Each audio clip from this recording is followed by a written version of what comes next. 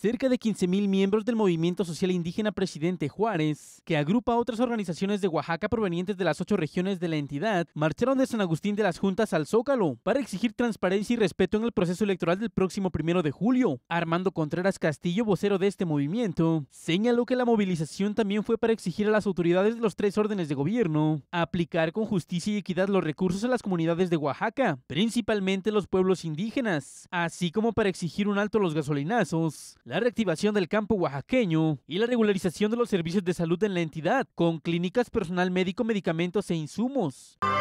El movimiento social e indígena Presidente Juárez sale a las calles hoy para exigir elecciones limpias y transparentes en todo el estado de Oaxaca y que los recursos públicos se apliquen con justicia y equidad en todos los pueblos, sobre todo en los pueblos y comunidades indígenas,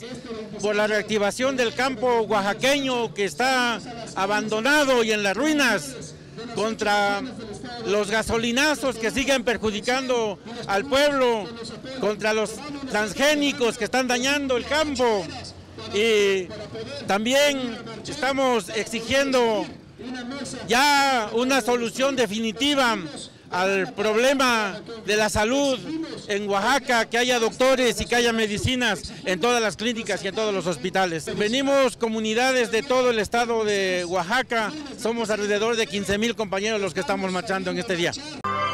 Por otra parte, Contreras Castillo agregó que las comunidades de Oaxaca carecen de infraestructura social básica, viviendas y carreteras que garanticen una vida digna de la ciudadanía. Por ello, el movimiento social indígena no descartó volver a hacer presencia en la capital oaxaqueña para que se escuche su voz. Con imágenes de Alfonso Morales y en la información Francisco Márquez, MBM Televisión.